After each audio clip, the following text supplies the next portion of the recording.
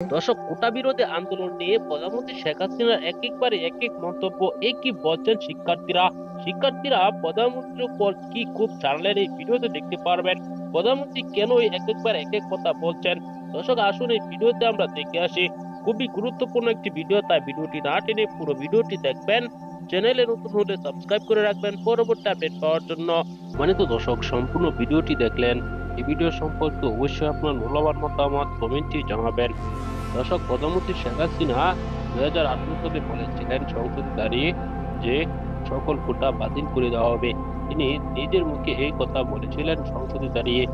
এবার দু হাজার চব্বিশ সালে এসে বিরোধী যারা আন্দোলন করছে, তারা নাকি অপরাধী, তারা মুক্তিযোদ্ধাদের সম্মানই করে না।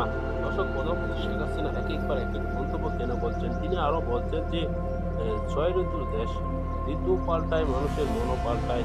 তার বক্তব্য এরকমই দিচ্ছে দর্শক ওবায়দুল কাদের সাহেব কঠিন হুঁশিয়ারি দিয়েছেন শিক্ষার্থীদের আন্দোলনে যোগ দিয়েছেন বিএনপি জামাত।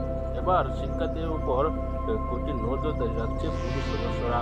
সামনে কি হয়ে যাচ্ছে তাহলে শিক্ষার্থীদের উপর কি ভয়াবহ কোনো ষড়যন্ত্র চলছে কিনা? এই চ্যানেলে আমরা পরবর্তীতে জানব। পরবর্তী সকল ভিডিওগুলো পেতে চ্যানেলটিকে অবশ্যই সাবস্ক্রাইব করে পাশে থাকা বেল বাটনটি অন ভিডিও একটি লাইক দিয়ে শেয়ার করে অন্যদেরকে দেখা শুরু করে দিবেন।